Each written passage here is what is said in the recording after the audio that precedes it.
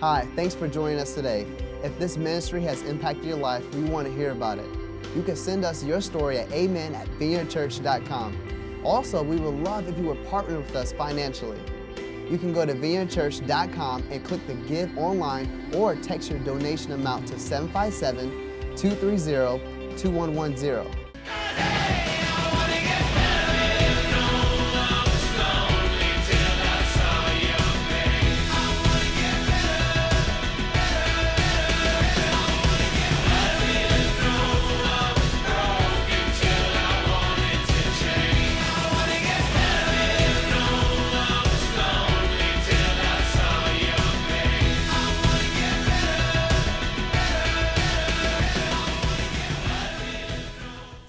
Right, well, happy new year, happy 2019. If you're joining us online, I wish you uh, happy new year as well and, and uh, ask you to join us as we start this new uh, journey, uh, what we're calling the Daniel Plan. The Daniel Plan is, is where we're going to get healthy. It's to, we're going to do it together, particularly over this series that we're doing for five weeks, where we're going to be looking at uh, critical areas. Certainly, uh, physical health is one, also emotional and spiritual, as well as uh, relational health. All mental health, all those things are very, very important. We're going to look at that and say, how can we, how can we take a step forward and do better at this? Now, today we're going to be talking specifically about physical health. Now, physical health, most of us know how to, you know, I mean, we live in an information glut. You can jump on a search engine and find something real quick. I mean, most of us know we need to eat a little better than we are, that we need to exercise a little better than we are, we need to, uh, you know, rest a little more, sleep a little more, but we don't. But we don't. And so, what I want to talk about is the why the motivation why don't we do it if we know we, if we know we need to do it why don't we and that is the crux because when you figure out the why god will show you the how and we're going to do that together, which makes it even more powerful. Now, what I want to do is look at some important texts like the classic text on the, bo- on the body is in 1 Corinthians 6. So if you have your Bibles, open it up. 1 Corinthians 6, we're going to be kind of going through that verse by verse. We're going to talk about why we would take care of our body. And then I'm going to give you four things that you might not know, uh, certainly will not be in, in any nutrition book that you buy on how to take care of your body, but are absolutely vital. And we find these from God's Word as well. Okay, so that's where we're going today. Let's start in 1 Corinthians 6. Here it says, everything is permissible for me, but not everything is beneficial. That's true, right? Not everything is beneficial. Everything is permissible for me. Uh, in other words, I have freedom to do what I, um, what I want, but not everything, but, but I will not be mastered by anything. In other words, he's saying, just because I can do it doesn't mean that I should be dominated by it, right? He says, be careful about that. It shouldn't dominate me. Then he says, food for the stomach and the stomach for food, but God will destroy both. In other words, they're not going to last forever. That's not the real reason we're here, anyways. The body is not meant for sexual immorality, but for the Lord, and the Lord for the body. By his power, God raised the Lord from the dead, and he will raise us also. He's talking about this physical body that we had. We're going to be raised from the dead. Do you not know that your bodies are members of Christ himself? Flee, the Bible says, from sexual immorality. All other sins a man commits are outside his body, but he who sins sexually sins against his own body. In other words, it's a different class of sin there. Do you not know that your body is a temple? Now, if you might have heard that before, the body is a temple. Well, this, that's where it's from. This passage here, it says, Your body is a temple of the Holy Spirit who is in you, whom you have received from God. You are not your own. You were bought with a price. In other words, Jesus paid for you. Therefore, to summarize all that, therefore, honor God with your body. These are six countercultural things that we do and our attitudes we have about our body that, you, that are just not part of the American culture at all. But it's certainly the biblical way. It's, it's, God says these are truths, these are the motivations why we take care of our body. Let's look at them. Number one, God expects me to manage my body. He expects me to manage my body. He says, Everything is permissible for me, but not everything is beneficial. Everything is permissible for me, but I will not be mastered by anything. Food for the stomach and the stomach for food, but God will destroy both. In other words, I am not the owner of my body, I am the manager. Now, the Old English word steward means manage. And so we're to steward our body. What that means is it's I don't own it, and so I manage it for somebody else. I, I'm a steward. You see, like money, the money you have was here before you were born, and it's going to be here after you die. In the meantime, you get to steward the money that you have. You get to manage that. And it's true with our life. That's how our life is, is we get to manage it. It's owned by God. And this life is, the Bible says, a test a test for eternity. How we, how we handle this life, how we manage it. And so when we die and we go before God, He says, we'll, each of us will give an account. It will give an account. Jesus said it time and time again. You'll give an account for how you live this life. That includes how your, uh, you know, your health. He's going to say, "What did you do with the health I gave you? What did you do with the gifts I gave you? What did you do with the, the intellect I gave you? All of those things we give an account for. So because we're managers. Number two, my body is God's property. It's God's property. Now those are fighting words in America, right? Hey, no way. This is my body. I'll do what I want to. And that's what a lot of us, the way we look at it. But the truth is, God says, no, that's wrong. Actually, He's the one that owns our body. He's, it's His body. He's the one who created it. And so it's, it's, it's God's property. It's God. Notice it, here, here it says, the body is not meant for sexual immorality, but for the Lord. Why? Because it's His. And the Lord for the body. In other words, I don't have the right to do whatever I want with my body. I don't have the right. Now, I think a lot of times we get stuck in this idea that, like the Greeks had years ago, you know, like with Socrates and Aristotle, Plato, all those, they had this, this idea called dualism that they bought into, that the mind and the, and the body were totally separate. In fact, the mind was good and the body was evil. So they said, you can do whatever you want with your body. You can treat it however you want. It doesn't matter because it's evil. And sometimes I think we step into that same kind of, this compartmentalization this dualism where, oh, I can, I need to make sure and take care of my spirit, take care of my mind, but my body, I can trash it, it doesn't matter. That is wrong, the Bible says. It says, no, no, it's not like that, that your body is, is, is, needs to be treated well, as, and it's not compartmentalized. They're, they're one and the same. You need your body to do ministry. They go together. Number three, my body will be resurrected when I die. Resurrected.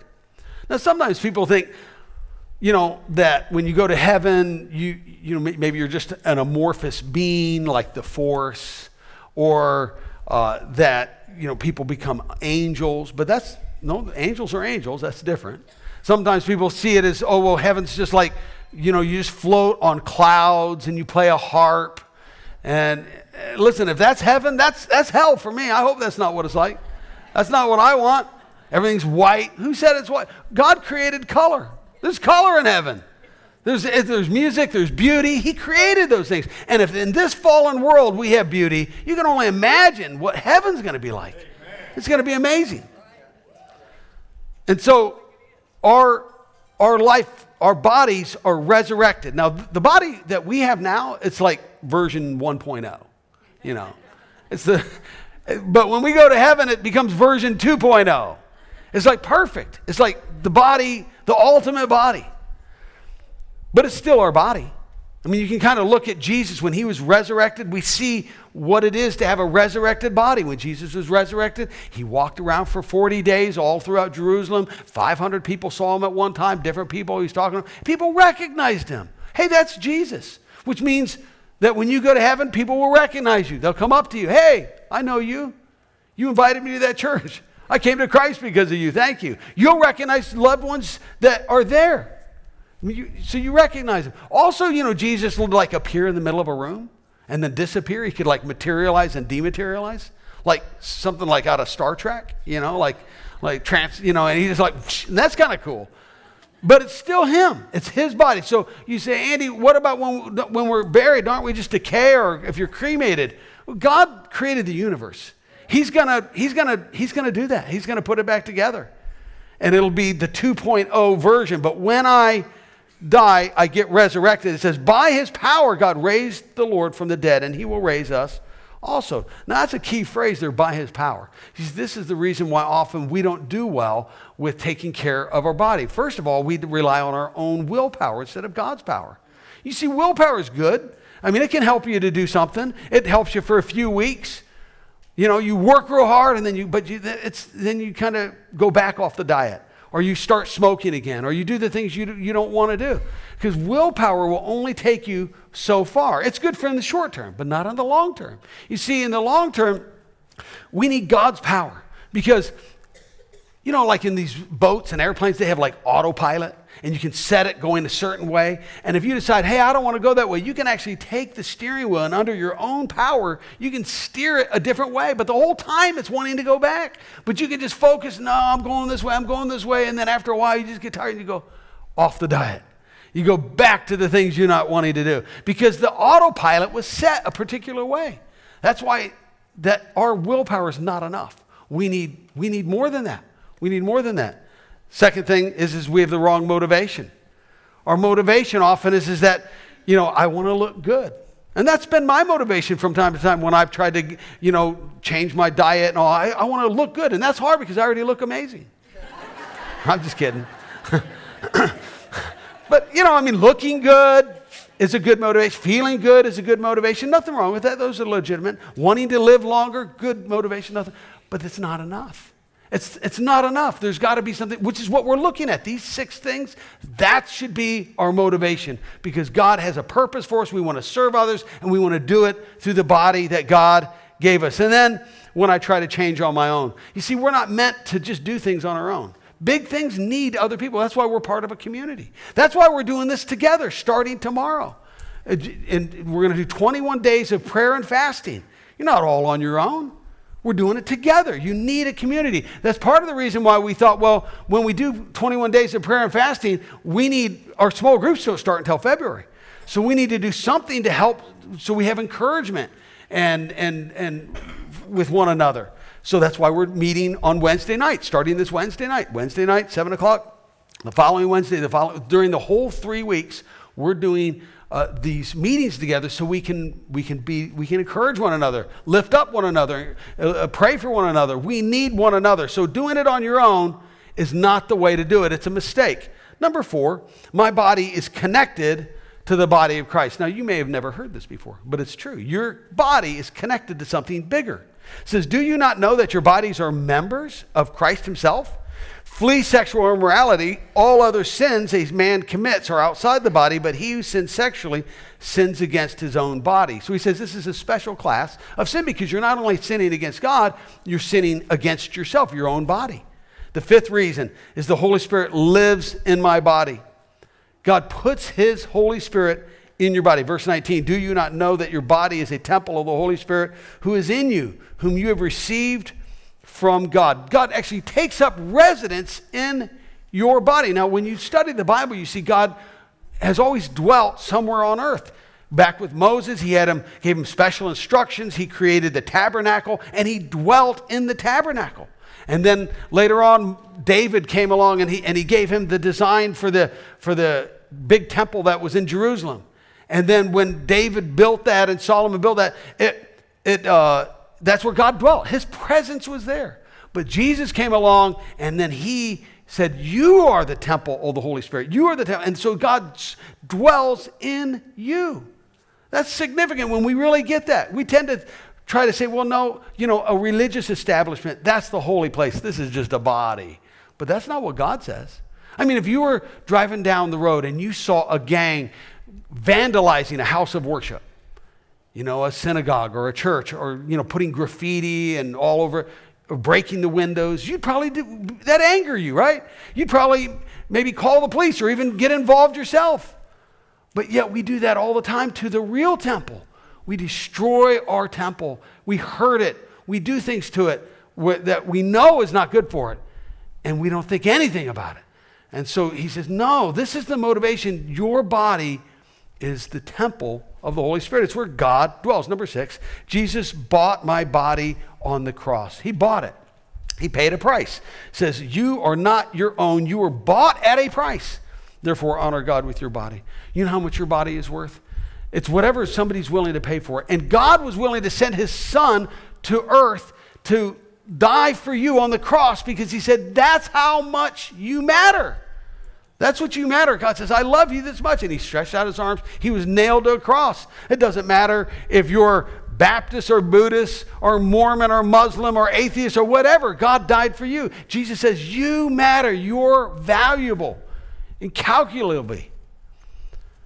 And what if you had a prized horse, like a million dollar racehorse? Because there, there's some of those horses are worth a lot. Million dollar racehorse. If you owned one, would you, would you feed it junk food? Take your friends out. Hey, look, let's feed this some fries. Look, it eats it. That's kind of cool. No, you wouldn't do that, right? You'd care that this is my million dollar horse. God says you're worth so much more than a million dollars. You're incredibly valuable. And so you treat your body like that. He says, I urge you, brothers, in view of God's mercy, to offer your bodies as living sacrifices. He doesn't say offer your soul or offer your spirit, he says offer your body. Your body has value. Value as living sacrifices. Notice he goes on, he says, holy and pleasing to God. This is your spiritual act of worship. You see, it's an act of worship. Sometimes we think our act of worship is singing, which it is, reading the Bible, it is, but you know, when you take care of your body, you, that is an act of worship. That's a spiritual discipline. Because God can only bless you as much as you're willing to take care of yourself. I mean, He wants to, he wants to bless you, but we need to get in line. We need to get our, our lives in line with what He says. So let me just summarize real quick. God made your body, so He owns it. He, he wants us to manage it. Jesus died for your body. The Holy Spirit dwells in your body. Your body's connected to something bigger. It's connected to the to, to, uh, part of the, the body of Christ. You're going to be resurrected. Your body is going to be resurrected, and you will give an account for your body. This is the motivation. This is the reason why we care for our body. Certainly, it helps. The, the byproduct is we look better, we feel better, and we live longer.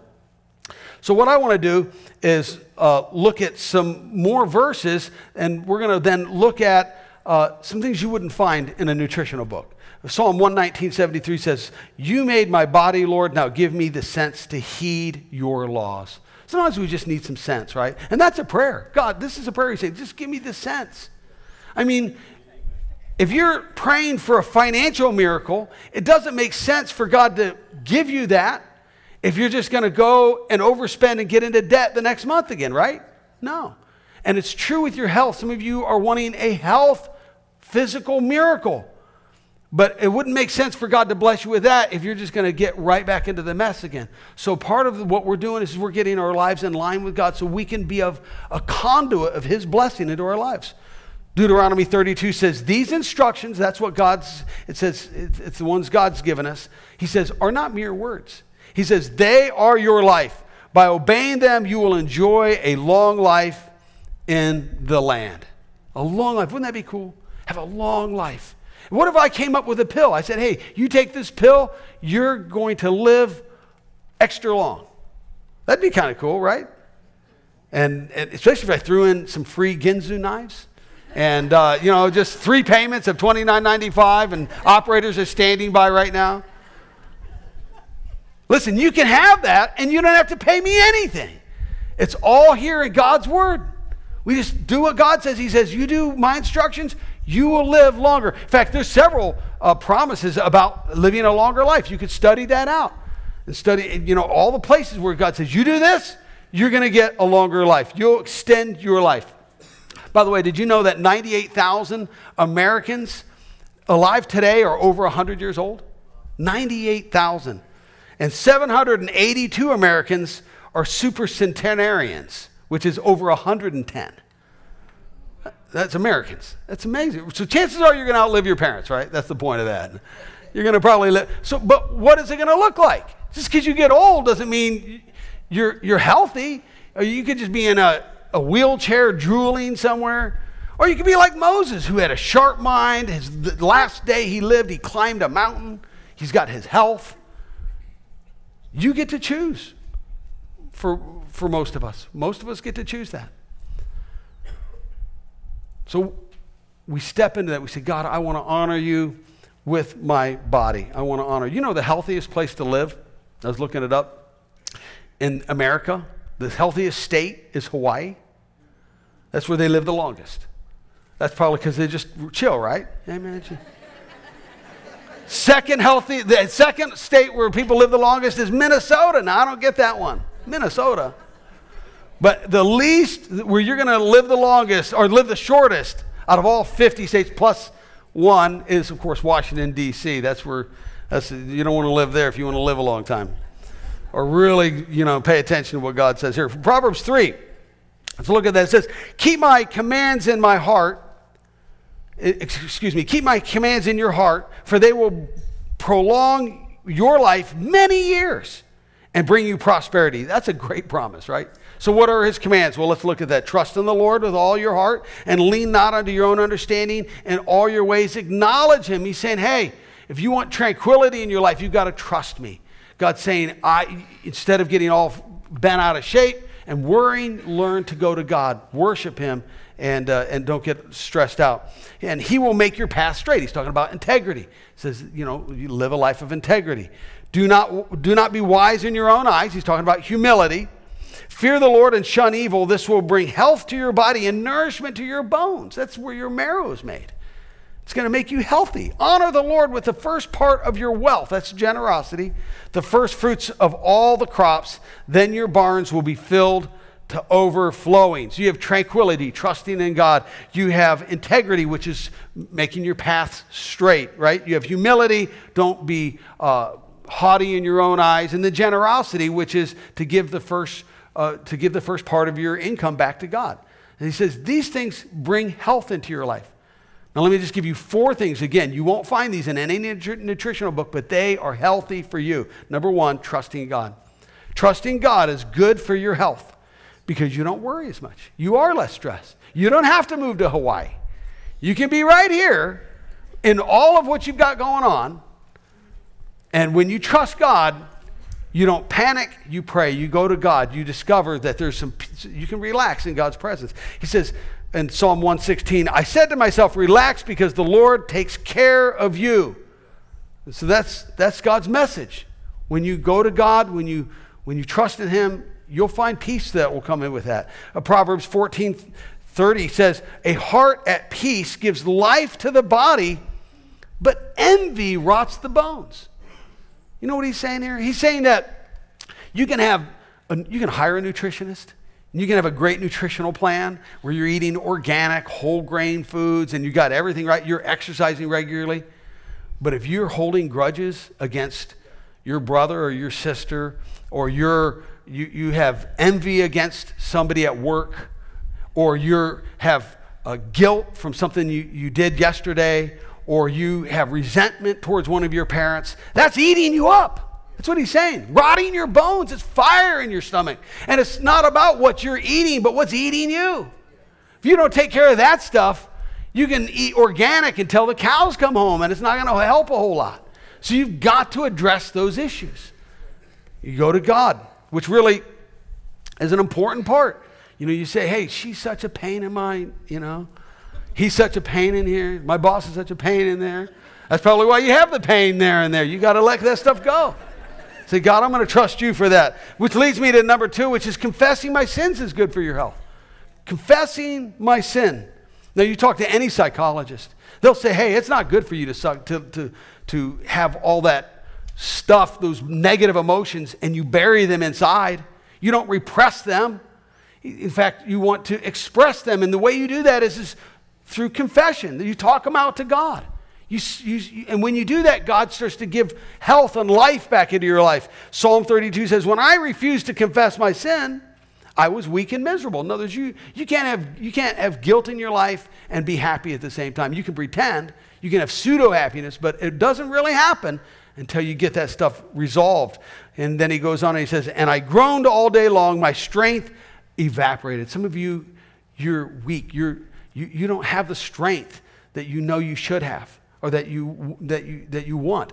And some of that's coming because you haven't dealt with some of this stuff, this bag of garbage, of guilt, of whatever it is. Finally, I confessed all my sins to you and stopped trying to hide them. And you forgave me, and my guilt is gone. Don't carry that stuff into 2019. You can resolve it today. You can say, hey, I'm done with that. I'm not going to just keep, I'm not bringing all that stuff with me. I want to travel light because I want to travel far. Number three, giving generously is good for your health. It really is. It's good for your heart. When you give, it warms your heart. It actually it releases endorphins physiologically. But it actually makes us more like God. God is a giver, and He wants us to be like Him. And so He invites us into that. Says, "Watch, when you give, see what happens." We start to become like God, and we recognize that it all it's all God's anyways. Every breath we have is from God. All the gifts we have, our, our intelligence, our ability to make wealth, all of that stuff comes from Him. It's His gift. And that's part of when we release that, we become less materialistic. We become more like God. We become happy. You know, it's no accident that miser comes from the word miserable. You can't be a giver and a taker at the same time. You make that choice. And when you decide to be a giver, that's healthy for you, it's healthy for your body. A generous man will prosper. He who refreshes others will himself be refreshed. And lastly, number four, wish I could go into this more, but uh, you just have to explore it on your own. Having fun. Having fun is good for your health. And you know, the Bible teaches it. The Bible teaches us that, that everything was given for our enjoyment, that life was meant to be enjoyed and not just endured. God wants you to have fun. Notice this verse a cheerful heart. That's a positive attitude, a smile, a laughter, a, a, a joke, hum, humorous talk. Cheerfulness is, is what? Good medicine. Good medicine. But a crushed spirit dries up the bones. You need to laugh. Now, uh, if you're like me and you make a lot of mistakes in life, if you don't take yourself too seriously, there's a lot to laugh at. I mean, I, I can laugh at myself all the time, or I can just get upset and get miserable. But when I make mistakes and I do dumb things, I just think, well, that's another good story to tell somebody. And they'll have, and they'll have a good laugh. I can't laugh right now, but, but there's plenty of material if you just don't take yourself too seriously. So you, let, you know, they, you've heard this statement a family that prays together stays together. But it's true also, and that's true, but it's also true a family that plays together stays together. And so some of you, you need to think through hey, how can I make sure there's more play, more fun in our home? Now, as I said, as we launch this new year, we want to launch it with 21 days of prayer and fasting, kind of dedicating ourselves to God. Now, the first part, the prayer part, most of you probably get that. I, okay, prayer. But the fasting parts, that's which often people get snagged. They think fasting. And so, what we've done in the past is we say, hey, just fast whatever you want. Maybe it's social media for you, maybe it's this. But this year, and this, we're not going to do it next year, but this year, we're doing something together. We're all going to fast the same thing. And it's on your outline if you want to pull it out actually in your program, excuse me, but it says the Daniel plan. This is going to be our designated fast. And we're starting at tomorrow morning, okay? Starting at tomorrow morning. And here's our fast. Uh, if you drop down, it says 21 days of fasting. And somebody said to me between services, he said, You know, when I first read that, it said 20 day, 21 days of fasting. Crap. But that's, that, that's, that's not the point of this, okay? It's 21 days of fasting crap. So you don't pause there, okay? And crap stands for carbonated drinks. That's mainly sodas, right? Sodas. Uh, that includes diet drinks. Because, and, and all of that will be explained in there. We're going to go through everybody who comes Wednesday night, uh, this Wednesday night, will get a Daniel Plan book, and it's all explained, and we'll, there's a reason behind all of it. And then, so then refined sugar is what R stands for. You say, how can I not eat refined sugar? It's in everything. That's true, almost everything. Uh, so what we've said is, is it just make sure if you buy something, if it's on the label, if sugar is one of the first two ingredients, then for 21 days you're not going to be eating that. That's the fast, okay? And then uh, the next is artificial flavor is the A. Artificial flavor, uh, artificial foods, excuse me, is trans fat, MSG, high fructose corn syrup, and then artificial sweeteners. So that, that all of those are out except for the stevia that is really stevia. And then processed foods. Processed foods, I noticed that candy's on here twice. I guess somebody's, that might be a message for somebody here. You got a candy thing. But um, uh, process, processed food is, is most fast foods, if not all. And then Uh, when you go to the grocery store, it means you do the perimeter shopping. Processed foods are in the center generally, in the center, all the aisles. So it means, you know, you can go into an aisle if you need like uh, some, some nuts or some seeds or some beans or something, but you, you don't want to stay there long. So you just say, okay, I'm going in. And you just run in, you grab the stuff you need, you run out. You don't want to be seen in there because somebody in the, the vineyard might see you. Whoa, they're in the aisle and it's the candy aisle. no, we're not going to do that. We're not legalistic here, so we're not. That's not us, right? But we're all wanting to make some steps forward in this. Uh, we're not going to be perfect. I doubt anybody here will be perfect. I certainly won't. But we're going to move forward to it. So don't get on some weird guilt trip if you mess up. We're trying to make a step forward, right? What do we eat? Well, it's real simple the 50 25 25 plan 50% vegetables. That's a lot. I, am not even sure how I'm going to do it. I'm thinking 50% vegetables. I don't even care for vegetables that much. 50% vegetables, thinking green. 25% is going to be protein. And, uh, and then 25% some kind of starch, preferably whole grain starch. And then some, a little bit of fruit. So that's going to be, that's eating clean. So that's, that's what we're going to be trying to do together. And like I said, we're going to do it together. And if you can come Wednesday night, you will get this Daniel Plan book. We bought one for everyone. Everybody gets one.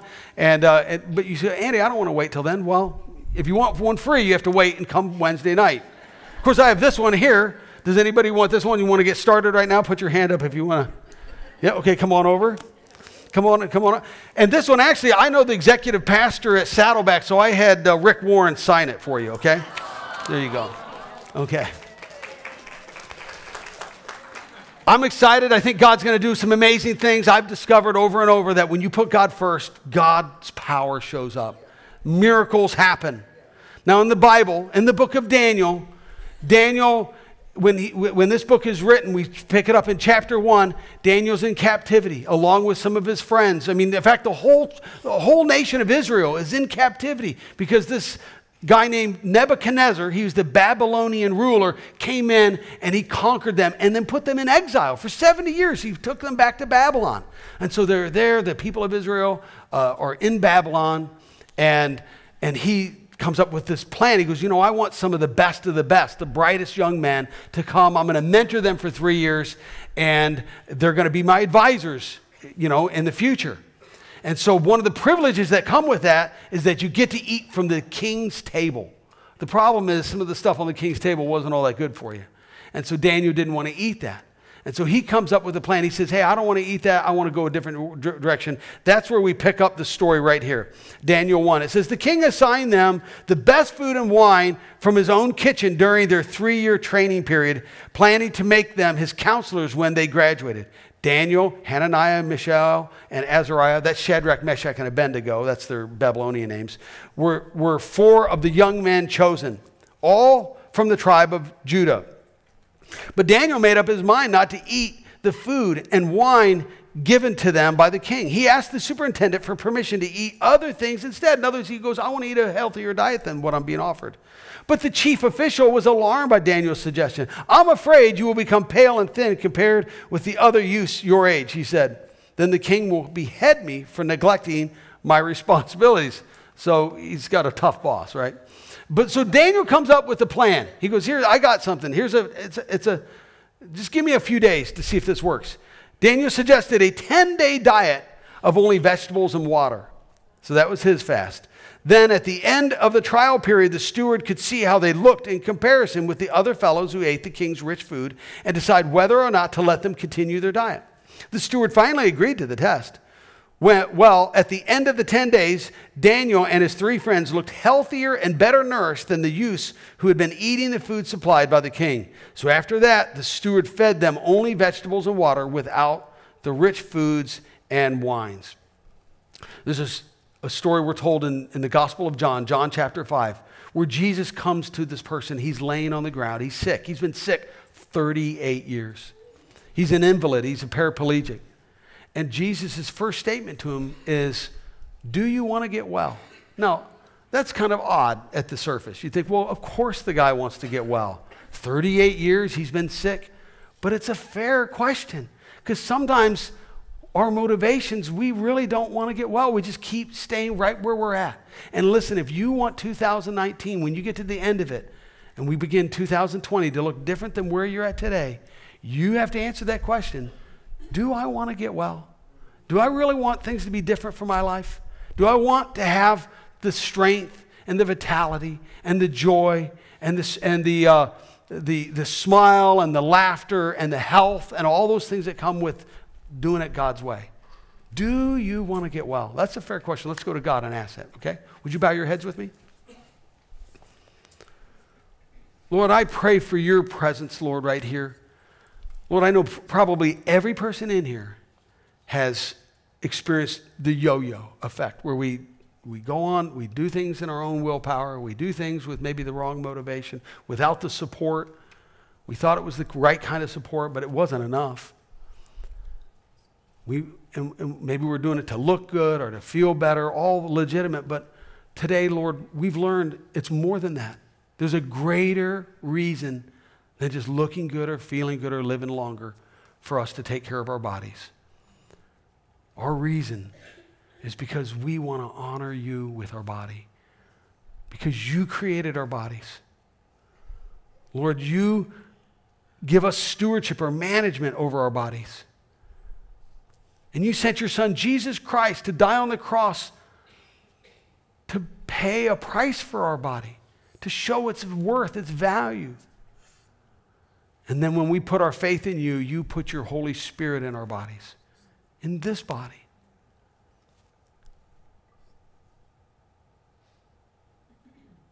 And then we're connected to something bigger. It's not just all about us. We're part of the, the body of Christ. And each one of us, everyone here, unless the Lord comes before that, our bodies will die. And there would be a resurrection of our body. And we'll give an account for how we, how we live this life.